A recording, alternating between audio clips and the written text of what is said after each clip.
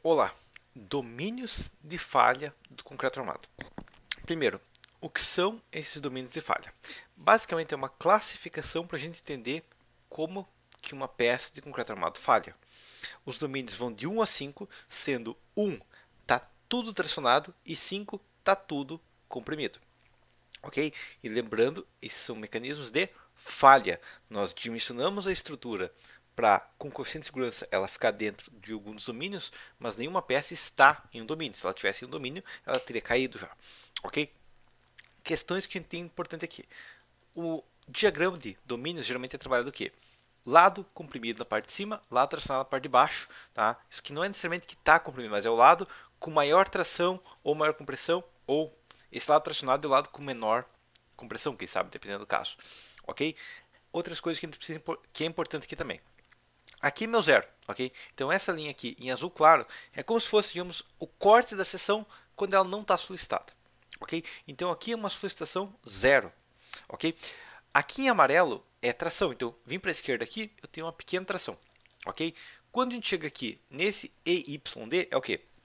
É o ponto onde meu aço está escoando, ok? Então o que vai acontecer é que quando começar a solicitar uma peça, o aço vai começar a escoar, ok? quanto mais solicitada a nossa peça, mais uh, o aço vai ser solicitado, uma hora ele vai escoar. O que é escoar? Escoar é o seguinte: passou, chegou no limite, eu não, não resisto mais nada, ok? Então o que vai acontecer? Aqui você tem um vergalhão que aguenta 3 toneladas, você aplica uma tonelada nele, ele vai resistir. Aplica duas, ele vai resistir. Aplica três, ele resiste. Aplica quatro, ele vai começar a deformar. Não é que ele arrebenta, ok?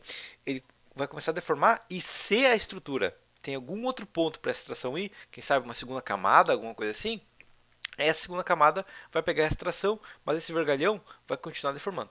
Ok? Então, esse é o nosso EYD, o ponto onde o nosso aço chegou no limite. Nós temos aqui a parte de 1% de tração. Ok? Isso é o que? É quando o meu concreto esticou tanto que está muito fissurado, que está chegando a ponto de que se a peça tinha sei lá, um metro de comprimento, ela está com um metro e um já, ok? Então ela já abriu um centímetro, o que é, digamos, o limite que a gente considera de deformação. E aqui em cima a gente tem 0,35%. Esse 0,35 é o ponto onde o nosso concreto chegou no limite.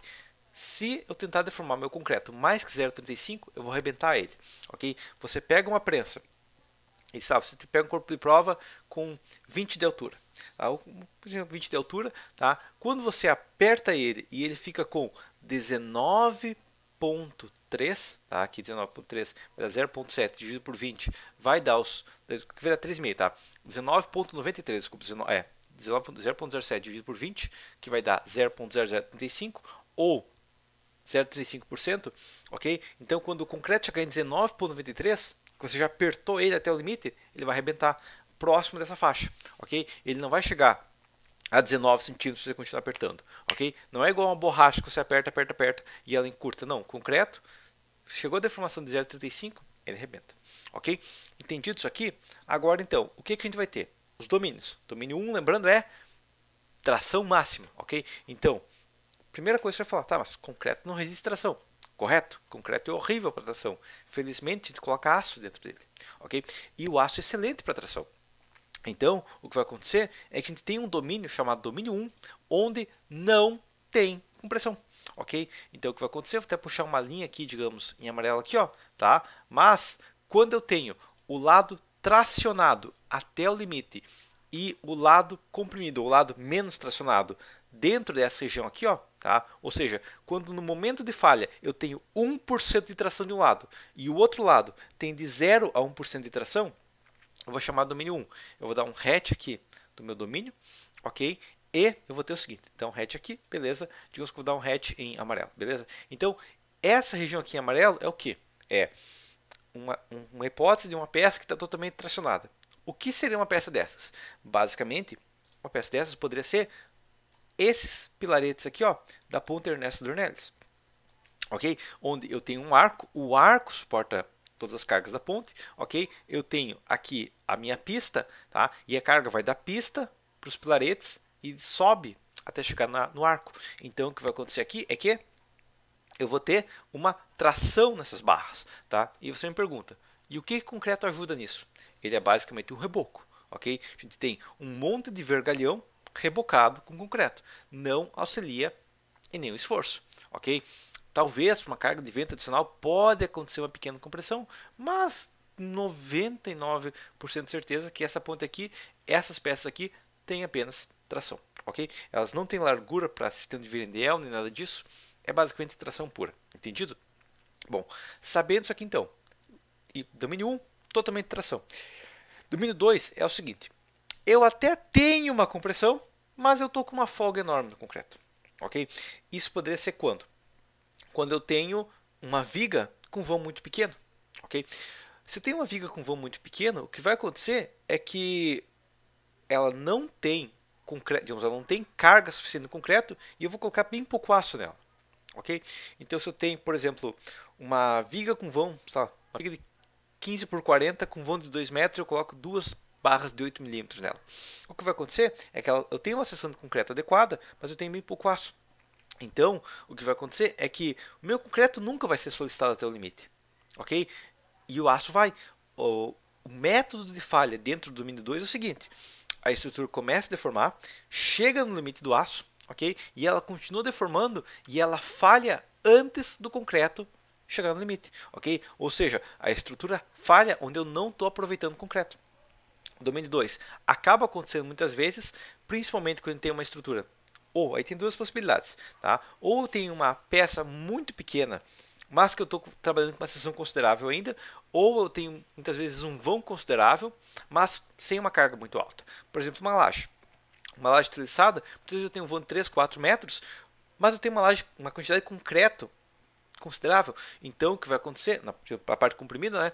O que vai acontecer é que ela vai falhar quando o aço escoar. Ela não vai falhar pelo concreto arrebentar na parte de cima, porque eu tenho muito concreto, ok? Então, eu vou puxar agora uma linha em verde aqui, ok? Que vem daqui até aqui, onde eu tenho o meu concreto, a minha deformação do corpo como um todo, chegando a 1% de um dos lados, ok?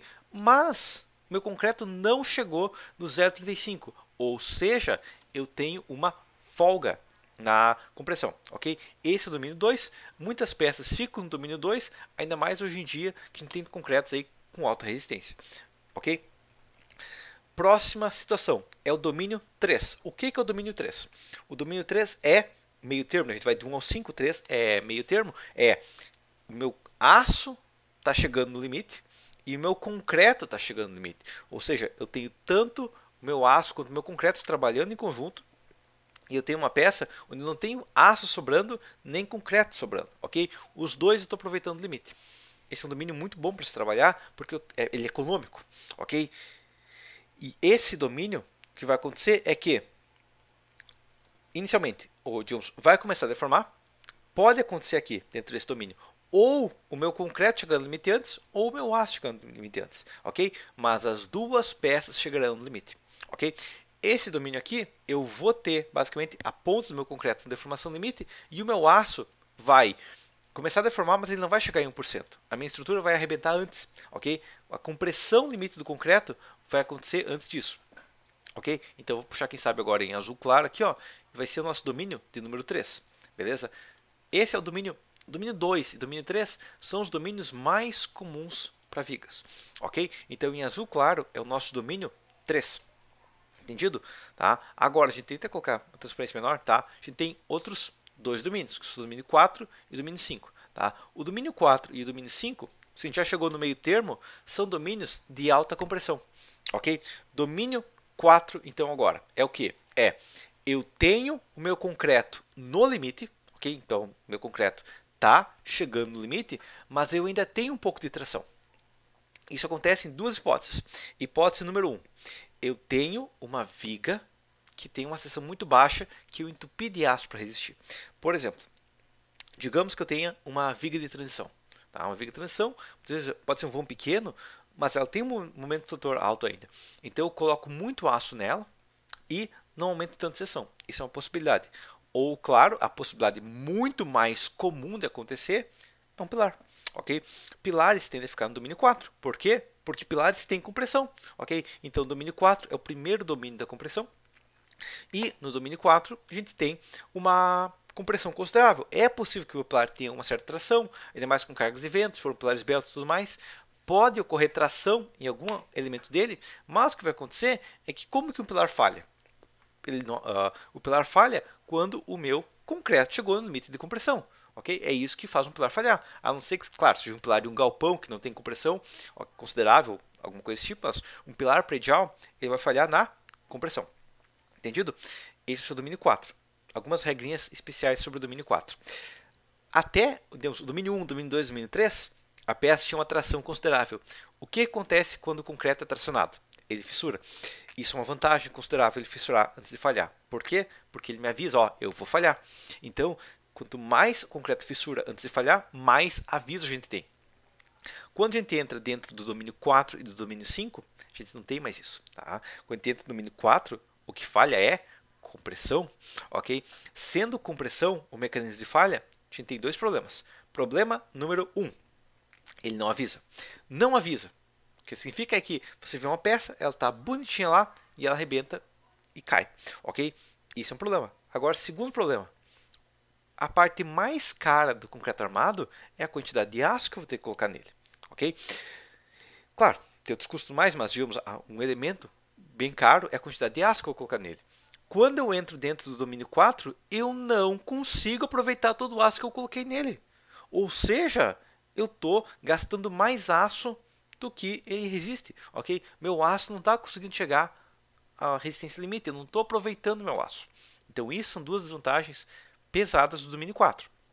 Acaba que em pilares não tem muita opção. Tá? Ah, eu quero um pilar que não está comprimido. Boa sorte. Tá? A questão é que domínio 4 é o que? Eu ainda tenho uma tração. Então, o domínio 4 vai ser e quando a parte tracionada tem uma tração pequena, a nada, e a parte comprimida tem uma compressão considerável, chegando no limite de compressão, ok? E vamos marcar ela aqui em azul escuro, ok? Tem a transparência também, tá? Mas coloquei aqui em azul escuro, é nosso domínio 4. E por final, o domínio 5. O que é o domínio 5? Está tudo comprimido. O domínio 5 é o domínio principal da compressão. O que é isso aqui? um pilar de um prédio de grande porte, um pilar robusto. Ok? Porque um pilar muito esbelto, ele vai tender a flambar. Então, ou pode ter um, uma flexão que vai fazer ele tracionar de um lado. Agora, um pilar robusto não tem essa chance. Ele é muito bruto. Ele vai estar tá totalmente comprimido. Estando totalmente comprimido, a falha dele vai ser por compressão, ok? Vai ser por compressão e o lado menos comprimido, ou digamos, o lado tracionado, né, o lado uh, com uh, um valor negativo ali, ainda assim ele está com uma certa compressão. Ok? Isso é o padrão de um pilar predial. Ok? Ou um pilar de uma ponte. Ou, claro, né, uma peça protendida. Ok? Apesar de tecnicamente ser domínio concreto armado, uma peça protendida tem cabos comprimindo drasticamente o concreto. Ok? Também no domínio 5. Entendido? Quando a gente trabalha dentro do domínio 1 e domínio 2, o que vai aumentar a resistência é colocar mais aço. ok? Então, se eu tenho uma peça, por exemplo, eu tenho uma viga com digamos, uh, uma viga que tem uma flexão baixa, uma viga que tem uma seção considerável de concreto, colocar mais aço vai aumentar a resistência dela. Quando eu trabalho dentro do domínio 3, é indiferente, é que eu posso aumentar a largura da minha viga ou colocar mais aço nela e de qualquer maneira eu estou ganhando resistência. Ok? Claro, se eu pego uma viga e ela está, digamos, tá o concreto e o aço trabalhando no limite, se eu coloco mais concreto, o meu concreto vai começar a folgar e eu posso chegar no domínio 2, onde é o aço que falha antes. Ou, se eu estou numa viga que o concreto e o aço estão no limite e eu coloco mais aço, o meu aço não vai mais falhar. E eu vou entrar no domínio 4. Ok? Então, são algumas questões que podem modificar o domínio aqui. Ok? Os domínios 2, 3 e 4, eles, você consegue alterar eles aqui. Ok? E, por final, se eu estou no domínio 4, estou no domínio 5, Colocar mais aço até pode ajudar, mas a questão principal é que eu preciso de mais concreto, ok? Isso é uma verificação que você pode fazer. Por exemplo, se eu estou dimensionando um galpão, ok? Estou dimensionando um galpão e eu tenho um pilar de galpão. Um pilar de galpão está no domínio 2, no 3, ou quem sabe com muita, muita chance, baixa, uma, uma chance muito baixa, no domínio 4, geralmente 2 ou 3, ok? Porque ele não tem compressão, ele é, uma, é o domínio de flexão, ele está na flexão, ok? O domínio 3 é a flexão ideal. Um pilar no galpão, aumentar o FCK de FCK 25 para FCK 50 não muda quase nada na taxa de aço. porque ele não tem compressão adequada. Ele não está ele não tá falhando por compressão. Ok? Agora, se eu tenho um pilar de um prédio, digamos que seja a mesma seção do pilar do galpão, e eu mudo o FCK de 25 para 50, como a principal solicitação dele é compressão, o que vai acontecer é que eu consigo tirar, dobrar o FCK é como se fosse dobrar a área de concreto, ok?